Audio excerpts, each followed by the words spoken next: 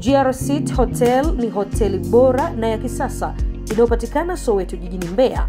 Utapata huduma mbalimbali kama vile ukumbi kwa ajili ya mikutano na semina, vyumba vyenye hadhi kwa ajili ya malazi, restaurant ambapo kuna huduma ya chakula na vinywaji mbalimbali. GRCT Hotel utahudumiwa na wahudumu waliobobea katika kozi za hotel management. Kwa mawasiliano, wasiliana nasi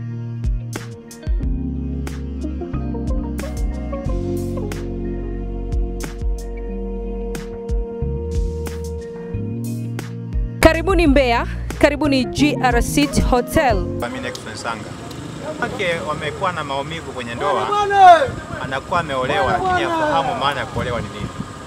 Kwa hiyo unakuta alikuwa na namba za watu wapenzi wengine kama hajaolewa, lakini baada ya kuolewa anakuwa muda wote yupo na barasa tu na watu wengine na barasa na barasa. Kwa hiyo hii inaleta machuko kwa wanaume. Kwa hiyo hii imepelekea mpaka wanaume ndoa unakuta zinavunjika baada ya kuwepo mmoja, watu wawili ndoa inavunjika. Na simu shauri wanawake, akishaolewa ni bora kaacha wale wapenzi wa zamani, ajue maana ya kuolewa ni nini. Kwa jina naitwa Mazoea Mohamed Nzoa.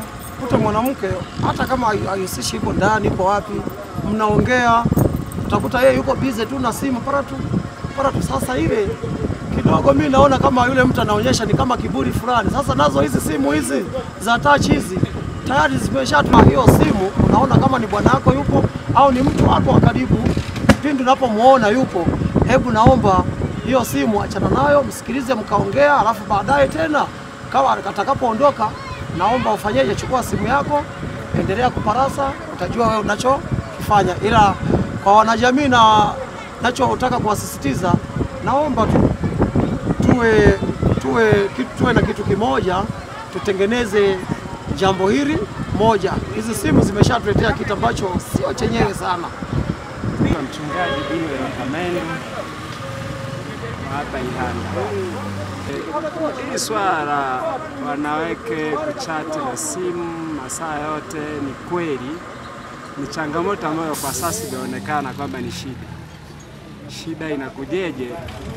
Kwamba mimi nilichogundua, naona kusema kwamba hawajajua maana ya ndoa ni nini.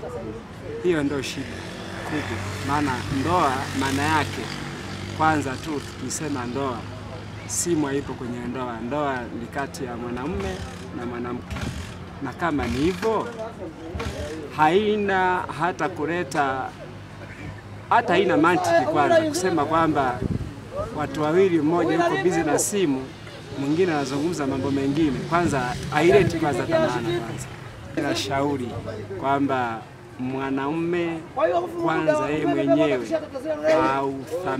amthamini mke wake. Hii inaweza ikaleta vivyo hivyo kwamba ndoa ikadumu zaidi, lakini pia hata mwanamke pia amthamini mume wake, na hii pia italeta ndoa yao idumu. Na hii ndio shida pia ambayo imefanya ndoa za miaka hii zinashindwa kudumu, kwa sababu watu wameshindwa kuelewa maana ya ndoa ni nini.